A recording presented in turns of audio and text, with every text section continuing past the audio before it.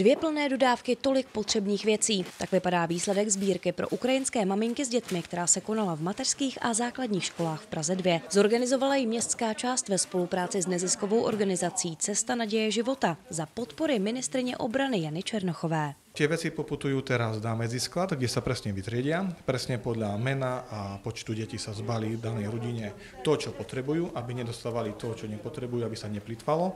A to bude rozvezené na ukrajinskej strane a presne z naša organizácia bude dávať do ruky tým, čo to potrebujú. Takže máme priamy kontakt s tými ľuďmi. Ten materiál, který tady kolem mě vidíte, tak bude sloužit těm potřebným. A to je zase něco, co nás posouvá i v té pomoci Ukrajině zase ještě někam dál a dává to jiný rozměr, dává to ten rozměr humanitární pomoci. I třeba děti z některých našich základních škol vybírali peníze mezi sebou a za ty peníze šly nakoupit pleny nebo hygienické pomůcky.